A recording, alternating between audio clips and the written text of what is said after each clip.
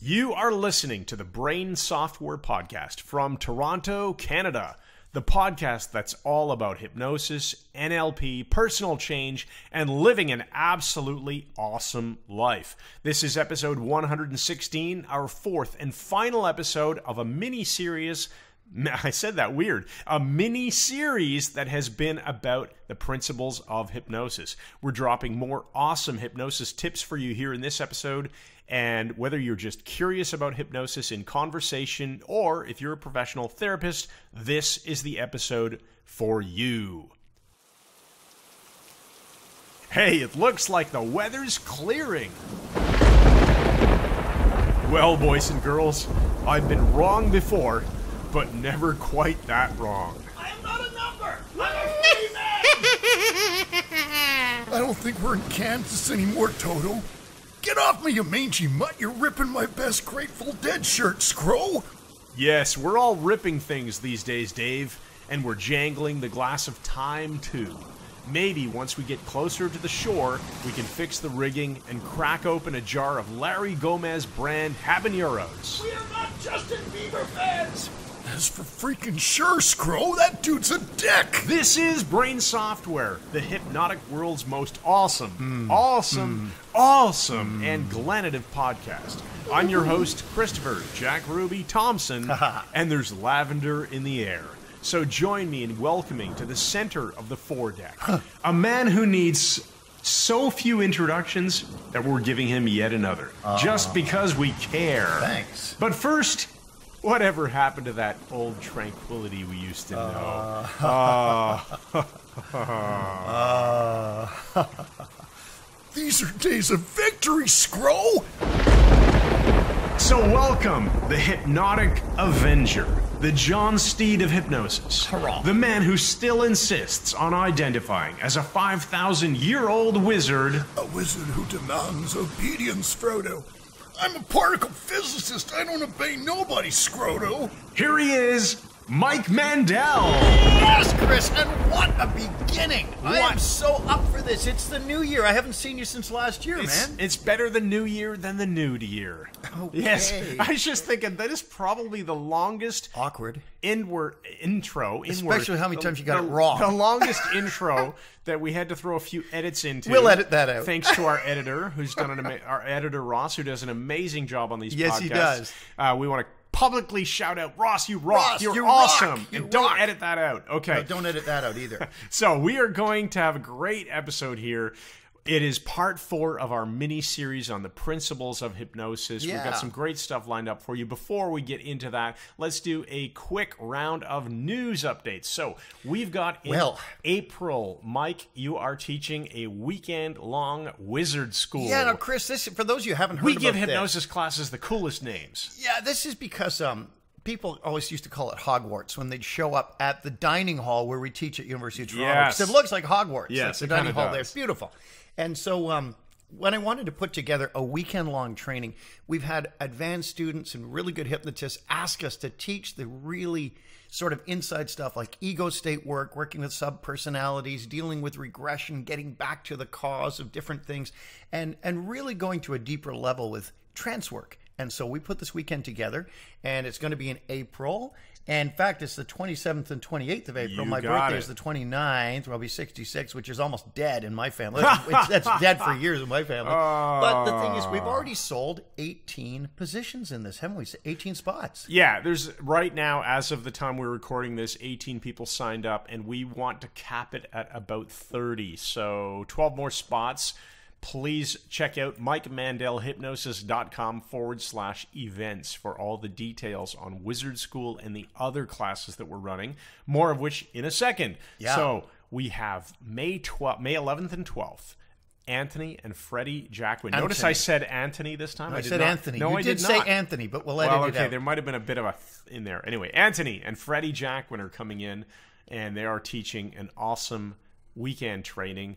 And uh, whoa, that's going to be good. That's going to be. Oh, man. Here's the thing: whenever we bring a trainer in, it seems that it is suited for beginners or pre-trained hypnotists. If Right. you trained elsewhere, you're going to get some value. There's a reason that we're bringing these guys in. We want to train with them. We want to take their class. You bet. We're very experienced, but they bring something new, Something different. something different, something to build our schema, which is part of the principles of hypnosis part four that we'll be talking about today.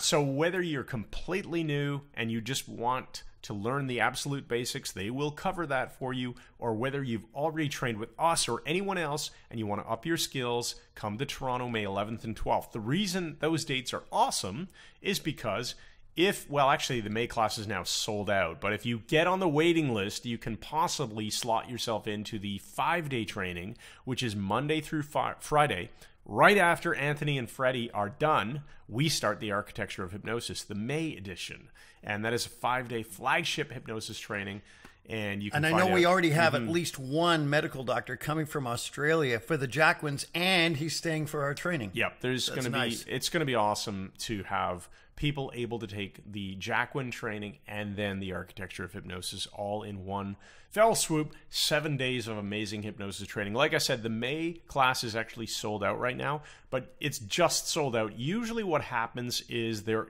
are some cancellations. So we take about 35 students in the class, and let's say with that class size five, six people typically will have to cancel towards the last minute. And if that happens, we build a waiting list. We don't oversell the class like crazy like airlines do. No. But we will make sure that we add people from the waiting list as a few people drop out. Just a numbers game. It always happens. People come up with family emergencies Yeah, or health problems happens. or something happens or work gets in the way and their boss won't let them have the time off anymore.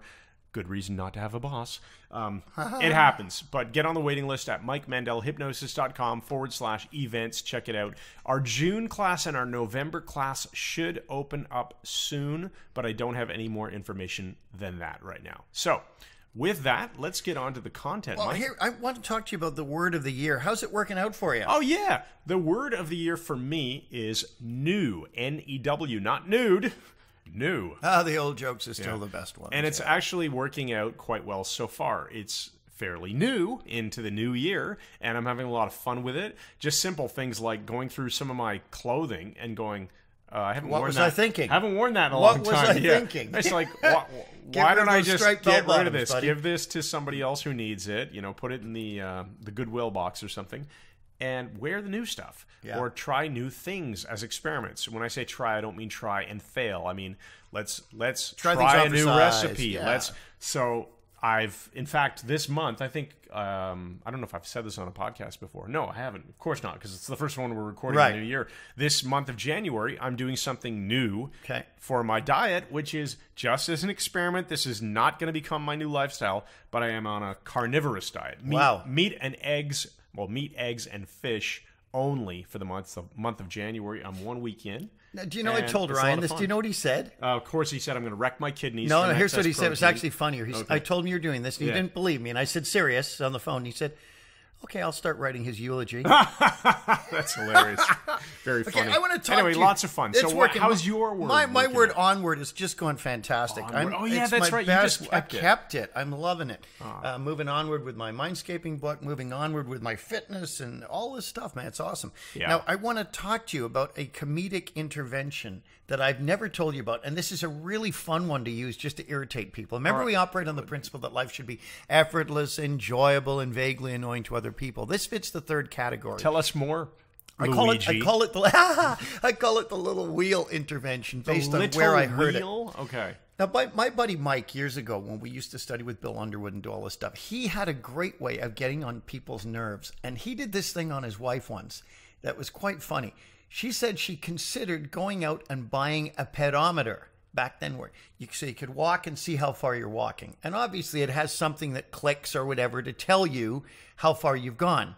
And he looks at her and he says, you know, it doesn't have a tiny little wheel that drags on the ground, you know, and, and then like a long stick going up to Oh. Like your waist to a belt. When I was in grade for school, they used, they used those to measure out White lines on roads and stuff. Well, or for the hundred meter dash. Yeah, you know, she said it just clips on your belt. And he said, "Yeah, but there isn't like a little wheel going right down to the ground." She said, oh, "I know there isn't." He said, "That would be ridiculous." Of and she said, "I know." And then later on, they're eating breakfast. He says, "I can't believe you thought there was a little wheel." She said, "I didn't think there was one." And he said, and he starts talking like it's true. He said. Can you imagine how that would get in the way of your leg? She said, I didn't say that. And then he took it to the third level. Later on, he'd just sit there and they'd be talking. He'd just sort of smile and shake his head like he's, what? It's just you and that little wheel. Like You and that little wheel. So I like this so much. I used it on a friend, John Papagiannis. Back in those days, everybody was playing Dungeons and Dragons. We're talking like 1981. And so every um, Friday night, I'd meet with him and my friend Rick Hellman, and we play. We went through D and D. Then we started playing Gamma World, which is this role-playing game. The world is a nuclear wasteland, and you're trying to find your way through it. It's all Sounds in your head. Yeah. And John and I are going through this. And we find these, you know, overpasses that are destroyed by nuclear war, and it's a really dangerous area. He says, "I think we got to camp out here. We're not going to move at night." I said, "Okay." I don't think we should build a fire, though. He said, "No, no, no fire." I said, "If we build a fire, you're going to draw every frickin' monster within hundred miles." He said, "No, no fire." I said, "It's a ridiculous idea. You build a big frickin' roaring blaze." He said, "I'm not talking." I just kept doing it like makes me. And then later, they can't believe you actually thought a fire would be a good idea. oh, it's so funny. And the key is when they correct you, you don't even acknowledge it. You just keep going like they've said nothing. And then eventually, did you get to the you, you and that fire? you and that you damn fire. Yeah. So we're gonna So you this. bait people with this, and So, then, uh, you, yeah. you're, questioning them if that's what they meant. They say no, and then you proceed as though they did mean it, Yeah. and then you refer back to it later to show how stupid they were in thinking it. It's brilliant. So That we call it the little wheel intervention. That has shades of what your father used to do. Do you remember how you would tell stories about how your father would say, "Oh, is, is Jimmy coming over to after school?" Me. No, and he'd say, "Yeah." He'd grin at me. Yeah, he'd always say the opposite. Always. It must have been brilliant humor. Brian Okay. McDowell coming around. No. Yes? No. Have you got any homework? Yeah, I got quite a lot. No? Yes. It's just insane. Okay, let's get on with this. Okay, let's that was talk about hypnosis. That was fun. So, okay, here's where we're going today. We've in the first three episodes covered quite a bit about principles of hypnosis, but we've never actually talked about inductions and what some of the different types of inductions are. So, we are going to discuss four, not the only four. There's many, many more. yeah, so we don't are, phone us and We say, are choosing There's more than that. Yeah. four that we want to discuss here. So we're going to talk about inductions that are based on the use of catalepsy. We're going to talk about eye fixation inductions. We will talk about conversational inductions and instant inductions based on the principle of a PGO, PGO spike. Okay. So let's start with catalepsy. Mike? Well, catalepsy is a very useful thing. It goes back to it's been known about at least since Probably a couple hundred years. 1700s, Yeah, when a hypnotic phenomena was produced, very often muscles would float in the air, become rigid, or go so limp they didn't work. So if somebody was in a, a deep trance or a medium trance or whatever, and the hypnotist reached out and lifted up somebody's arm, Yeah, it, would might just might just stay, there. And you'll see this in the terrifying film from the 1970s, The Exorcist, where Regan the kid is hypnotized by the psychiatrist, and you'll see her sitting with her hand floating in the air. And it's cataleptic. Right. now. and we don't mean full body like catatonia It could be, but typically it, it's a, a limb, or it could be even the eyes become cataleptic, the lids, so the, the eyes don't open. Right. And Somebody's eyelids are so relaxed that they just won't Now work. you can give us the Clark Hull quote because I know you're dying to do this. Take us back to Oh, sure, 1933. sure, sure. So Chris. back in Hypnosis and suggested by- 1933, glad I'm not which is actually URL now. interestingly, so 1933 is 10 years after Erickson started doing some of his experiments in hypnosis when he started uh, studying under Clark Hull. Clark Hull was his professor at the University of Wisconsin. Yeah, I, believe think so. And then then Yale later. So in called it Yale. 1923, Clark uh, Hull and Erickson kind of got to know each other. Erickson being a student at the time, Hull being a professor. And Erickson ten years rapidly later, yeah, Hull, and yeah. ten years later, Hull in 1933 wrote a book, and in that book, he put the following quote: "Anything that assumes trance causes trance." And what book was that, Chris? It was uh, hypnosis and suggestibility, Correct. I believe, Nice. right? So, and I haven't read that one yet. I will admit. Uh-oh. By the way, so anything that assumes trance causes trance has this really nice meaning. yeah, well, he's given us the key to doing rapid inductions with that. Key being, if you simply do something that assumes a trance, you cause a trance. Right. So let's clarify that. If you, not that you said anything wrong, but um, let's suppose Let's you need a so-called medium trance to have someone's hand floating in the air. You can either create a medium trance, you're getting tired, you're getting sleepy, you're going deeper and deeper. You can do that for 20 minutes and then lift their arm and say, now your arm is floating in the air, it's floating, it's lighter, it's lighter. You can do that, but it's a very long way around it. Instead, you produce the phenomena instead of doing an induction. Right. So you take the hand a certain way, you cause it to float in the air, and you get the hypnotic trance by default, which is way easier. Exactly. Now, we will, let's just say right up front here, this is not something that we invented.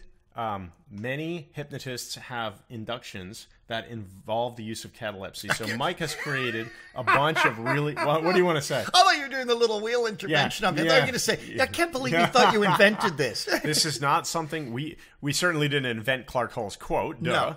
But so Mike has created inductions called, for example, the kinesthetic ambiguity. Well, I didn't create that. I You know, that was a Derek, Derek Balmer one. taught me Sorry, that, which yeah. one? The single finger catalepsy. Single finger catalepsy, Or there yeah. are others. Yeah. Um, little shelf. Breathing with a hand is Derek Balmer. Uh, Little Shelf is Derek Balmer. Yeah. Oh, okay. There Yeah. you go. So none of those are your Right, original right. specifically. There are others that are. Yeah. But, and then there are other inductions like uh, the Jacquins we just talked about. They have the Jacquin Power Lift induction uses catalepsy. Actually, breathing with a hand induction is mine. Oh, yeah. I took a principle he used and turned it into an induction. Okay, there you go. Yeah. So there's many different examples of how to use this principle of catalepsy. The the point, the reason I brought this up is Hmm. You you are not saying, okay, we're not taking Clark Hull's quote, anything that assumes trance causes trance. Therefore, okay, Mike, close your eyes and just hold your hand up in front of you as if it was floating. we're not being that direct about it. Right. We're engineering a situation Where the that- hand just floats. Exactly. Yeah. That creates a floating hand or whatever it is. Cataleptic hand. Without pointing it out directly. Then we can draw attention to it and use it. But by engineering this situation where the hand just floats and the person isn't directly told to do something, you get that result that causes the trance, or at least Right. the opening door to the So trance. you're, you're just entering the loop from the other end. You can Mm-hmm. either do an induction, create a phenomena, or the shortcut is just create the phenomena and get the trance.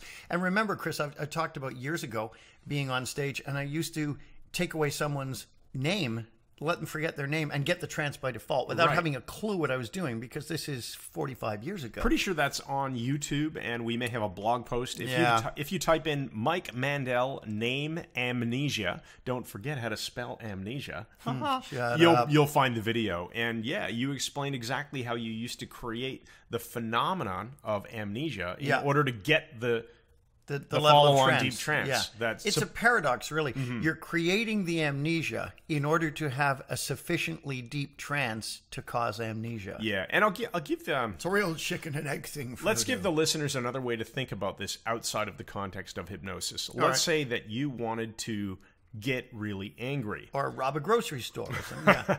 You uh, people who are angry that you imagine fists clenched or something like that, Right. right? Scrunch up your face and your eyebrows are all. he's doing you it right now, yeah. So if you want to get angry, it's probably a lot easier if you start with the physiology, which re- which will help you build that emotional. Mm-hmm. well, you're bang on with that. You're bang on with that because method actors, actors who are able to take on an emotion on stage, they'll start to believe Yeah, it. yeah. Mm-hmm. Because you're creating a real emotion. You notice.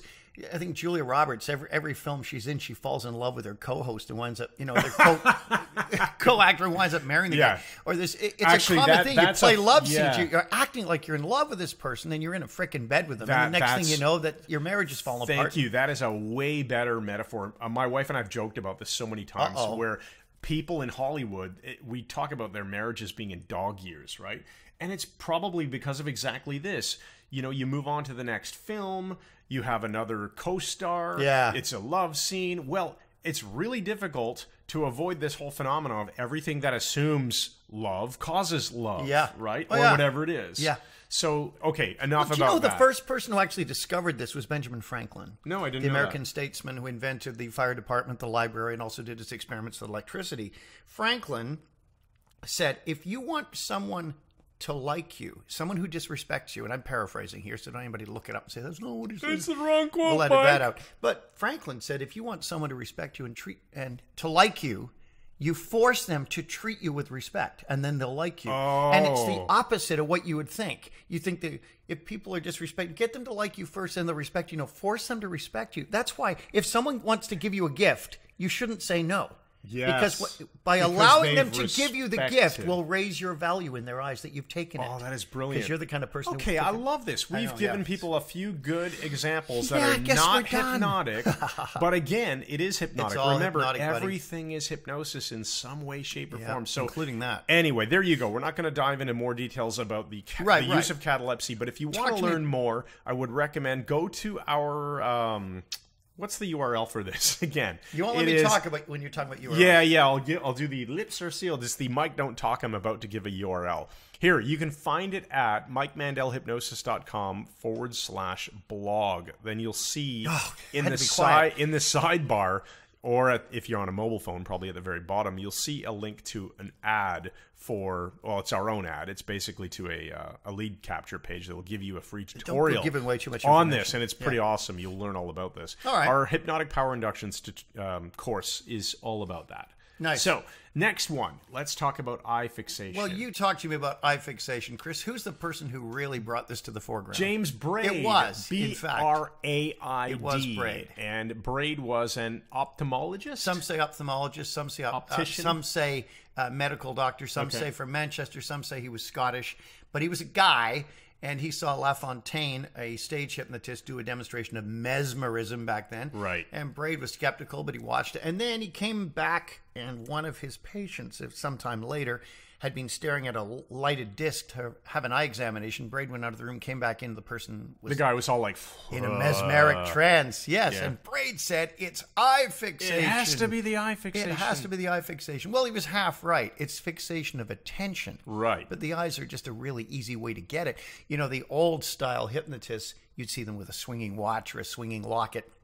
Which will work. You can use a ticking metronome, have the person stare at it, or Erickson in his Oh, Erickson's genius, genius, because He'd he them wouldn't imagine use. it. Yeah, in fact, this is in the collected papers of It is. Milton H. Erickson. It's in the first half, and he has one of his papers. It's probably paper number five or six in there. Anyway, he tested out people looking at actual metronomes And versus imagined metronomes. Yeah. And guess what? The results were better with the imagined metronome. Yeah, because because their attention is internal. yeah, they are the ones forcing the metronome to move. They are not trying to keep up with this real metronome. So everything paces their actual experience. Nice. They're making the experience. So anyway, very interesting. But the point being, eye fixation, you can have someone's eyes opened looking at a coin or looking at the swinging locket or whatever it is.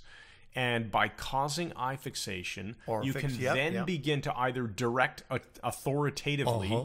or indirectly by using permissive language. So, either, in other words, you can use the Elmanian approach, very, very direct in your face. Your eyes are getting tired. Your eyes want to close, whatever it is. Or- you can use them. We prefer, we typically prefer a bit of a hybrid approach, but Ericksonian permissive language. And as you stare at that coin, it's so easy to just allow your eyes to begin to feel tired. And Whatever when you're it is, ready, right? you can permit those eyes to close. That's, That's right. right. So, So don't you listen can- to this if you're driving That's it. So this is not hypnosis. This is just us talking about hypnosis and demonstrating it. Yes. so eye fixation is another way that you can cause people to fixate their attention on something and absorb your suggestions. So braid induction, the Walter B. Gibson induction, which I came love the from Gibson your one. Book as a child. What was it I called didn't again? write it. The key to Hypnotism. No, hypnotism. The Key to Hypnotism by Walter B. Walter, B. Gibson. Gibson. That was a gift to you from your father when he well, he took you permitted to me to buy it. Yeah, uh, he That's the same really a thing. He gift. paid for it, didn't say, basically. Here, son, here's a gift. Become a hypnotist.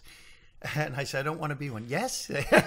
so anyway, I got the uh, yeah Walter B. Gibson, Key to Hypnotism. It's it was a good book in its time because it got me doing hypnotic trances as a 12 year old kid, and that's how I hypnotized Wayne Gibbs using the Gibson induction, which basically uses eye fixation. It's a modified version But of the it's, braid yeah, it's induction. clever because it's it's getting you to open and close your eyes, and there's more social, there's more compliance built into it, and it keeps the attention locked, and the eyes get tired faster. It's a good one. Okay. Hey, you know what? I was just thinking that this What's is that, Chris? probably a good time to mention that if you we we never I don't think we've ever talked about compliance and yes sets in hmm. the previous three of the mini. I don't think we have either. We're not going to have time to get into it here either. No. But I do want to point out that if you are interested in learning more about Ericksonian hypnosis, which is really conversational hypnosis, it's how to speak conversationally, hypnotically, without sounding too weird. You can go to the App Store for either the Android or the Go- uh, the Google, the Google, either I was on the Android, Google. either Android or iOS, or whether you're in Apple's environment or Google's environment. Go to their App Store and search Nuvi N U V I by Mike Mandel Hypnosis, or just type in Mike Mandel N U V I Nuvi. An- November uniform, Victor, India. there's an app that we have published on that store, on both of those stores. It's like a $3 app, and it comes with a bonus course. It's about a 45 minute video course. Absolutely amazing, completely free with the app, and it's about 45 minutes of the basics of hypnosis. You'll really enjoy that course. Nice. Good right. one, Chris. Good. So I don't have a URL for you, unfortunately. So pure conversational, pure verbal hypnosis. Are, it's an invitation to trance. So this, it? so this is number three. Let's be clear. We've talked about the catalepsy. We've, talked, about, the eye fixation, and now we're on to number three: conversational inductions, which are purely verbal. And this is where Erickson's work, Milton H. Erickson, Milton Highland Erickson. Yes, that's correct. His work is key here because, as far as I'm aware, nobody else did conversational hypnosis before him. Oh gosh, no. And if they did, they did it inadvertently. Remember, Yeah. Erickson started being extremely direct in his hypnotic work. He was he said he was way too directive in the early days, and then he began to offer trances to people, and people would be zoned through the floor. That's why Chris and I teach a modified approach. We teach my um, Neo. neo Ericksonian approach, which is it's on a continuum. At one end, you've got extremely direct Elmanian, Esterbrookeian sort of hypnosis, and at the mm-hmm. other end of the of the line, you have the Ericksonian, just verbal fluff that's getting people into trance. And our method is to be as indirect as possible, but as direct as necessary. Now- you can just intervene anywhere. Let's talk a bit about how this works, and then we'll move on to Let's the do fourth. We have lots and lots of stuff to cover. So, mm-hmm. if you want to go into more detail, there's easy ways to do that through our training, other people's training, books, podcasts, whatever you want. I will recommend if you want to go further, check out the Mike Mandel Hypnosis Academy, which is at our website, mikemandelhypnosis.com forward slash join hyphen MMHA. Join hyphen MMHA. Or you'll just find it from the main part of our website. So, Erickson's work, conversational work, we've talked in the prior part of this mini series about the magic number seven plus or minus two and absorbing people's attention with more details than they can hold in their conscious mind at Right, any one right. point. And that's one of the things that language can do. So, pure verbal inductions, just talking to somebody about things that are already going on in their current experience or imagining, like imagining the metronome. Sure. Right? So, how can you have sure. somebody close their eyes, direct them towards the idea that they can't? Now, this is still conversational. Let me back up a step. Yeah, please do. Conversational does not mean necessarily covert. Right, right. Do you want to expand on that a bit? Well, covert is conversational hypnosis. You haven't told the person you're doing. Right. So if you were to say to somebody, "Hey, uh, close your eyes and imagine that you see a metronome," okay, they're probably going to know you're up to something, Right. and it's not really co- it's not really covert. Although No. you might, you know, you might be able to disguise it under the uh, idea of a game. I want to play a game with you. I want you to close your eyes and do this. Okay, that's wonderful. You can get them compliance, doing what you're saying.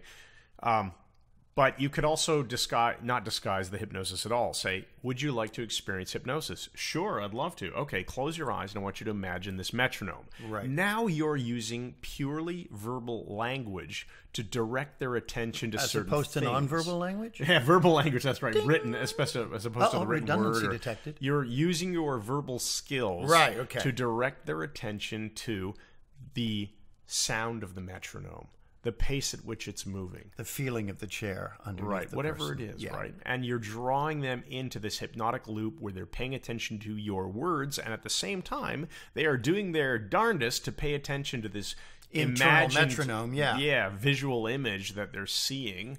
And you're occupying their attention and you're getting them to go into a trance. So that's the third way, just purely verbal. Now, we are always doing verbal stuff when we do Sure, if you tell a story to someone, Right. You know, you're you're drawing them into an internal state where they're recognizing um, patterns from their own life and mapping them across to your story, so the story will make sense. And we're also using this whenever we do something else. For example, if we start by setting up catalepsy, the first thing we talked about of the four types, we're then moving on to a verbal style of continuing the induction, continuing the deepening All this process. stuff flows into each other. Right. So there, these are not separate um, They're not distinct separate steps. things. They're not separate platforms. Right, right. Eh, Very well, very well put. You could have the person you're doing, you know, they have a cataleptic limb, and you Mm-hmm. can now intensify the trance. And as you draw your attention to that hand and feel it begin to sink down, that's right. You can go even deeper. No, you're utilizing hypnotic language, conversational hypnosis with catalepsy. And it, it needs to be said,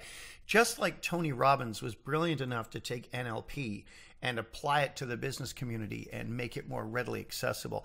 We have to give an acknowledgement to our friend Igor Ledochowski, who interviewed me for five hours once. Great guy. He really did the same thing with Ericksonian I think so, hypnosis. yes. He's the first who really promoted conversational hypnosis, and he needs to be recognized. For Yeah, that. absolutely. Um, also, on that note, if you're interested in learning more about Erickson's work and the hypnotic language patterns, we have a deck of cards called Hypnotic Language Cards, and you can find out more about that at mikemandelhypnosis.com forward slash cards. Simple. Simple URL forward slash cards. And they're really low cost, free shipping anywhere that mail is delivered in the world, and I really do mean Free that. Free shipping, Chris? Really? No charge for it's baked into the price basically, but yeah, there is absolutely no additional charge for And it's shipping. Canadian dollars, too. It's Canadian dollars. It doesn't matter whether you live somewhere in Africa or Australia, Europe, North America. Shipping is included in the price. Check them out, MikeMandelHypnosis.com forward slash cards. Okay, now, now we're to the, the fourth one, which is the PGO spike. So Now, catalepsy was one, eye fixation was two, conversation was purely three, verbal, yep. and then the fourth is something entirely different, and it is the instant induction principle of the PGO spike. Well, what we're doing here is you're using novelty, shock, or surprise to temporarily empty the mind to receive suggestion. And our, our student, Christoph from uh, France, who is a psychiatrist, I, we were talking about PGO spikes in the class, and he said, yes, he said they do clear the mind Yes. to accept suggestion. They, they give you a, a second or two when the mind goes blank and the critical faculty is temporarily offline and you can get and and also executive functions. You can get a suggestion in past the critical faculty, past the conscious mind, and the way you're doing it is by doing something to either unbalance them or startle them, and then you're suddenly saying sleep, and what'll happen is the person will go into a trance immediately. Provided you maintain rapport with them and take control right away, they'll stay there. If you do nothing, they'll come out in a second or two. Yeah, so the simple formula for these, you'll see a lot of them, like the hand drop induction. I think that's a, a fairly standard name, the hand drop induction. Yeah, yeah, yeah. Where one one person, a hypnotist, will have a subject put one hand on top of the hypnotist's hand, press down, and focus on pressing down, And fixate then their eyes fixate their eyes yeah. on, on the palm or whatever it is, and then as they're pressing and they're talking usually in some rapid fire type of manner, the hypnotist will quickly pull his hand away so, that the the, pressing down forward. subject, their hand drops, and then immediately the hypnotist will generally support the subject's body, shout "sleep," Right. and then and they'll to go into the trance. What you don't want to do is haul on their neck, like I've seen some hypnotists do. Yeah, you there's some haul on really my bad frickin' neck. examples of this I out say there. some hypnotist hauls on my neck. I've got a bad neck, as you know, from very serious trauma 50 years ago. I'm okay for the most part, but you haul on my neck to do an induction.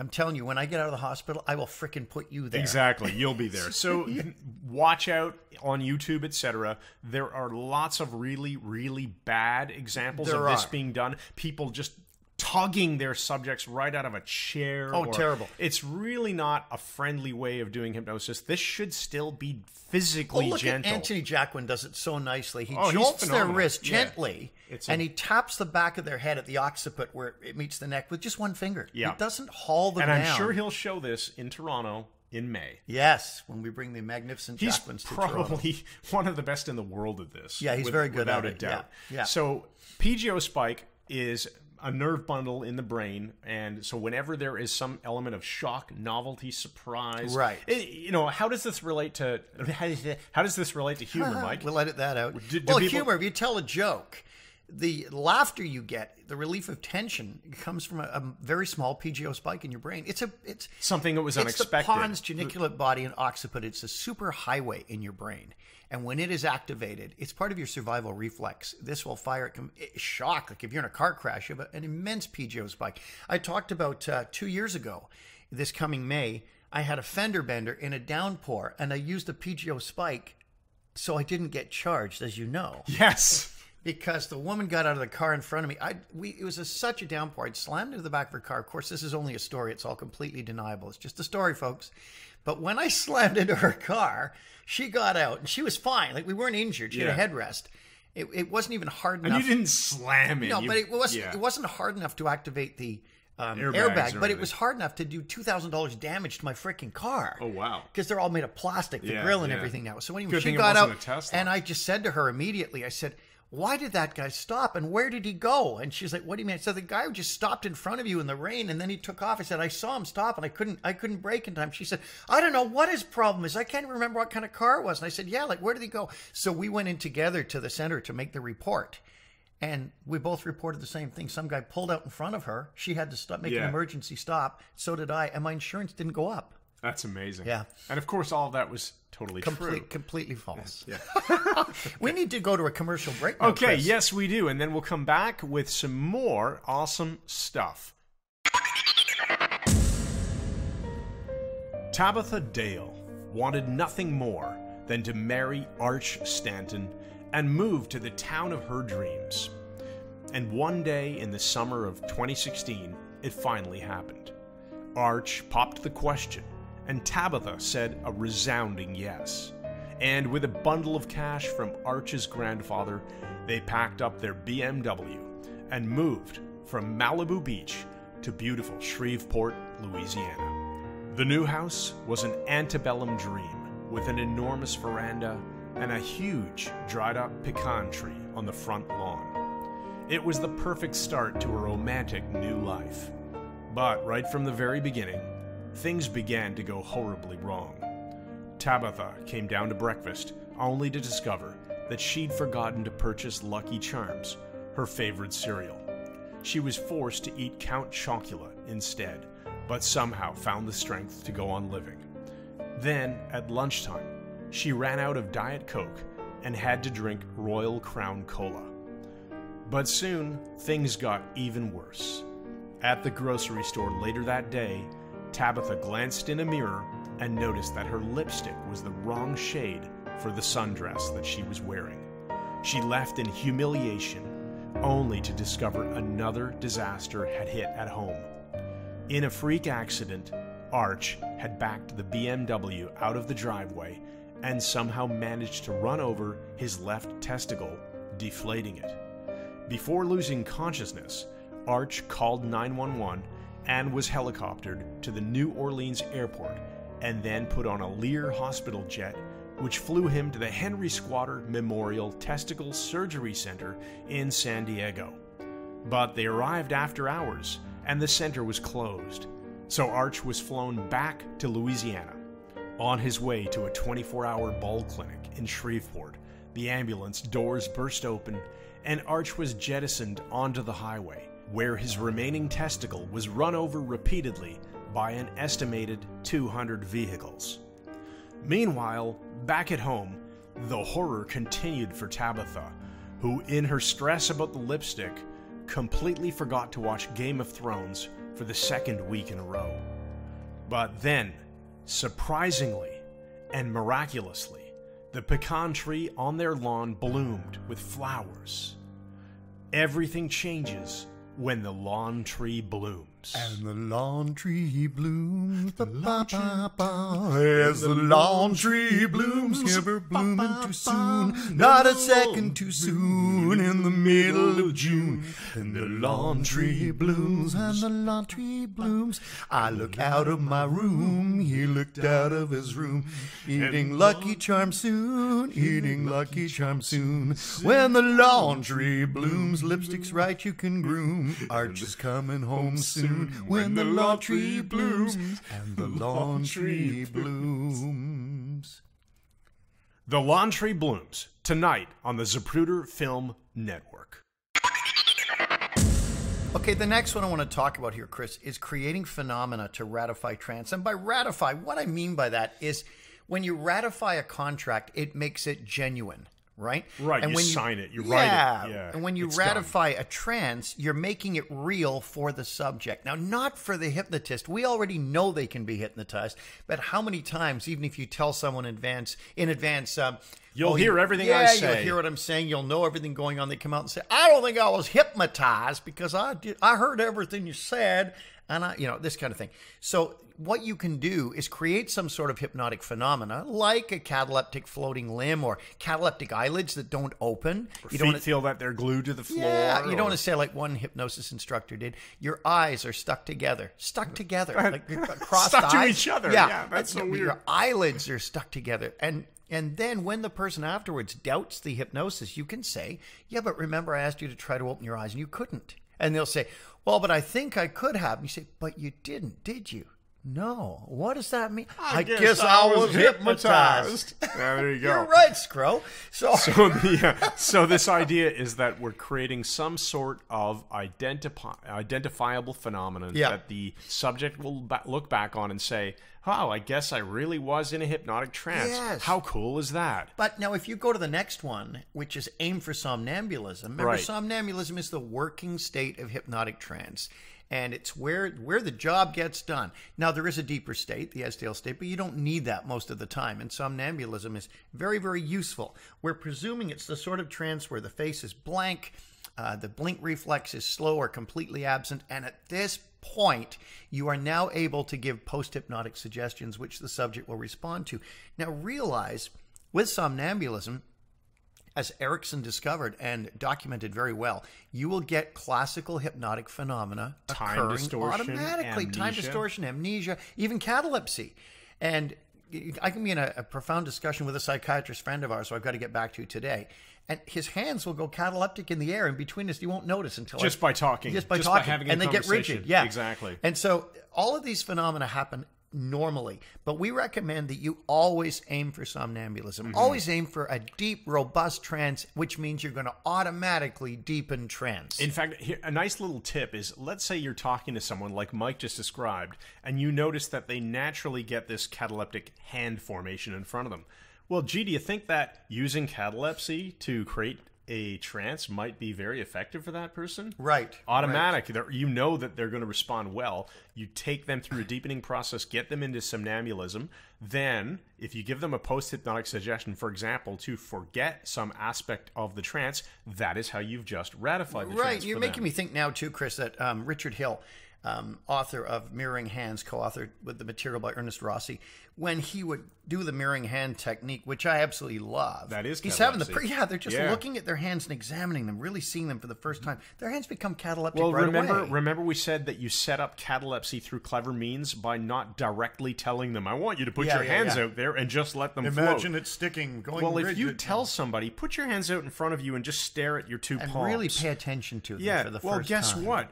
Their hands have to be cataleptic in order to do that. But you haven't told them, I want you to put your hands out front of you and um, let them float, but don't pay any attention yeah. to the fact that they're doing that. No, But we're backing not. up here. We're back at catalepsy. Yeah. We need to be talking about somnambulism. So just let, let's put a lid on that and just say always aim for the deepest trance you can get.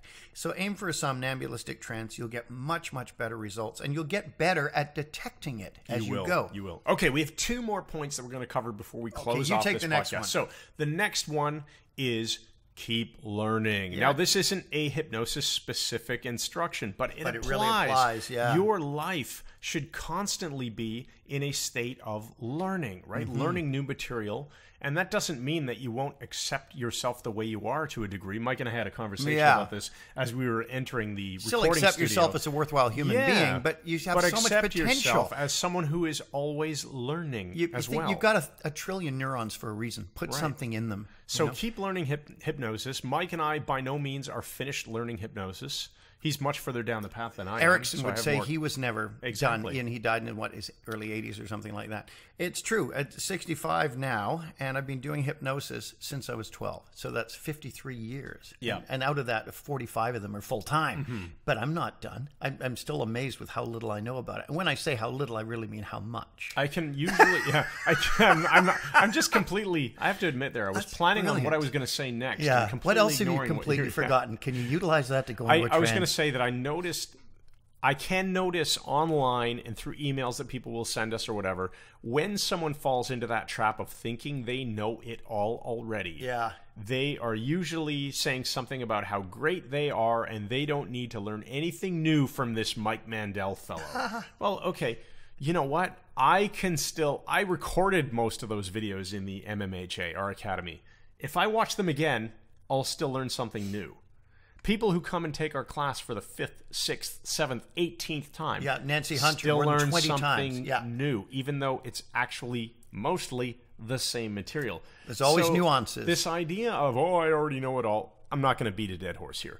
Just don't adopt that philosophy of life. Adopt the one that we're suggesting. You're always learning. Always Okay, learning. and Which then- is why I continue to present and identify as a 5,000 year old wizard who demands worship. So now the the last point is not only are you going to keep learning, But you're going to gonna practice keep- on a wide variety of subjects. Yeah, and that's sort of keep doing. So learning and doing go hand in hand. You Yeah. do and you learn and you learn and you do. So practice on a wide variety of subjects. So whether it be your friends' kids, your kids, uh, Well, grandma and get grandpa. permission before yeah, you practice obviously. on your friend's kids. Well, Good you- advice, you- Chris.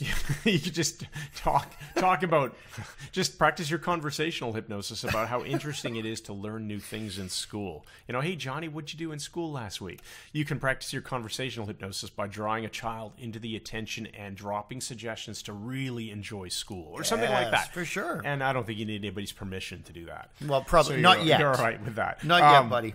Wide So, hey- variety of subjects. So you've got A lot of different- old people, young people, men, women, athletes, Undecided. smokers, Yes. people who are unhappy, people who want to get better at sports, whatever it is. Yes, Excellent. That's right. Which leads us now, Chris, would be a good time for you to give us the empowering question All of the day. right, here is your empowering question for the day. While I waste a bit of time scrolling down in my notes so that I can find it, here it is. Ask yourself, and I mean really ask yourself, as my hypnotic skills constantly improve, what will I do next to turn competency into excellence? As my hypnotic skills constantly improve, what will I do next to move beyond being merely competent and exhibiting true excellence? Nice one, Chris. Which now will be followed by my meta five of the day. Metaphors The meta and meta five- fives are better. Better. Gravel running. Do you know about gravel running, Chris? I do not. I can imagine it's running in gravel. One would think so, but it's not. Many years ago, when I was doing a lot of university and high school shows, so in my early 30s, mid 30s, I was traveling through southern Ontario, which is down near Windsor, which is right near Detroit, actually, just across the Detroit River. Yes. And I was doing a number of high schools. And what I would do back in those days is an afternoon teaser. So the school would bring me in if I wasn't doing a show in the daytime, and I did a lot in the daytime, which was how I wound up hypnotizing Alanis Morissette when she was in school. But there were the whole um, number of schools who would bring me in in the evening, but they wanted to make sure people would show up. So I would, they'd have a, a brief assembly in the afternoon. I would do a, a, a 20 minute thing, maybe a couple of mentalism effects, freak them out, you know, tell somebody how much change you had in his pocket or something like that. Classic mentalist effects. Then tell them about the show that night, and then we'd pack the place. I'd come back that evening and then drive home. Well, this one particular show, I remember. I did the teaser in the afternoon. It was killer. The kids loved it. They're in this cafetorium, cafeteria, auditorium combination. They're all over me afterwards. One, day. hey, come back. What time is it? This is amazing. I can't bring my family. Uh, yeah, yeah, yeah. So then I went back to my motel. On the way back, I thought I'd better fill up the car. I've driven from Toronto. It's a four hour drive. So I pull into a gas station. There's a kid there filling the, the car up, and his name was Scruff. I always remember. And he said, Where are you from? I said, Toronto. Oh, what you doing here? So I told him. I said, At the high school, I'm doing a show there tonight. Said, What kind of show? I said, I do a sort of a hypnosis show, mentalism, mind stuff. He said, Nobody will show up. I said, Actually, I think they will. I just did a thing called a teaser there this afternoon. They went crazy. They're going to pack it tonight. Nope, they won't show up. I said, Why not? He said, It's Friday. Everybody's going to be gravel running. I said, What's gravel running?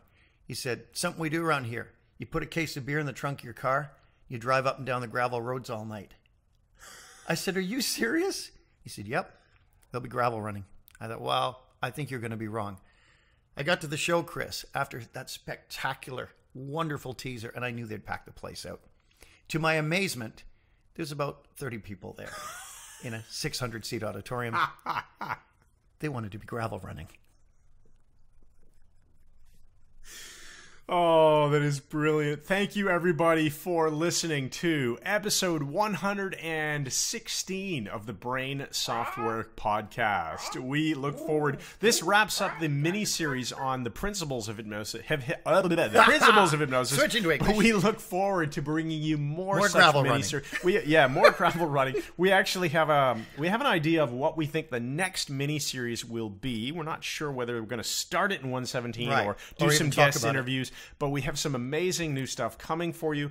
In the meantime, make sure you head on over to MikeMandelHypnosis.com. Claim the free stuff that we have for you there. And if you're interested in our live events, check out MikeMandelHypnosis.com forward slash events. We'll hear you again. You'll hear us. We won't hear you. You'll hear us again in the next episode. Thanks again. And Good night. Bum ba bum bum ba da bum bum ba bum bum. Yeah. Bum bum ba da bum bum ba da. Bum bum ba dum bum. They all went out to see it on the island of St. John and the flames were burning higher, and we knew we'd have some fun. And the people sat in service stations on the island of St. John. It was really a lovely afternoon, and we knew we'd have some fun. Dun, dun, dun. Smoke on the water on the island of St. John. Where do you get this?